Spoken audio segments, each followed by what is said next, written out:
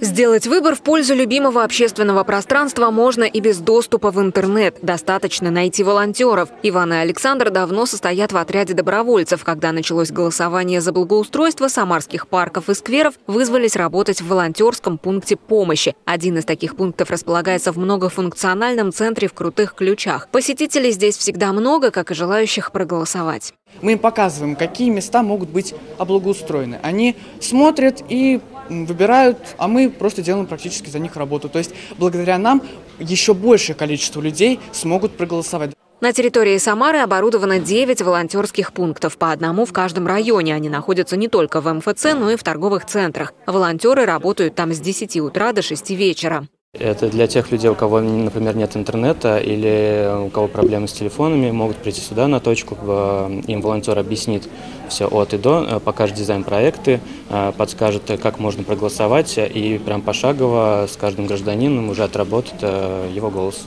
Также в 12 многофункциональных центрах находятся компьютеры с доступом в интернет, чтобы все желающие самостоятельно смогли проголосовать за благоустройство любимой территории. Напомним, отдать свой голос можно на сайте 63.городсреда.ру, авторизовавшись через госуслуги, а также через платформу обратной связи госуслуги «Решаем вместе». На благоустройство в следующем году претендуют 20 общественных пространств. Поддержать свою территорию можно до 30 мая. Светлана Кудрявцева, Максим Гусев. События.